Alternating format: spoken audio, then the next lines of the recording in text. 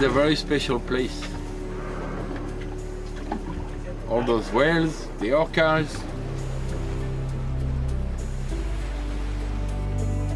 I started to dive in 1976, but I started to film as a professional in 1985. And then uh, soon after I joined uh, Captain Cousteau on the Calypso. And I stayed there for uh, 12 years until he passed away.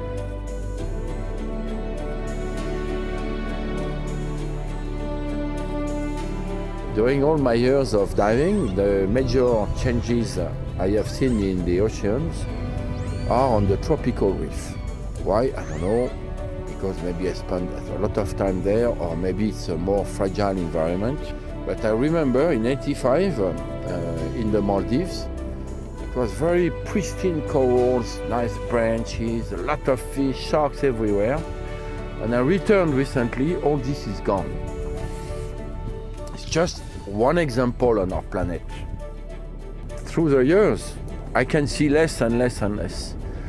But, but, but, but when I see all the whales here and the orcas, somewhere it's good hope for the oceans because I see that there is a lot of life.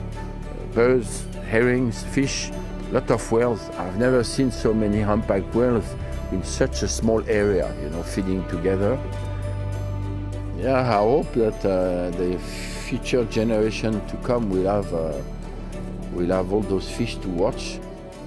Coming here is giving me hope for the oceans.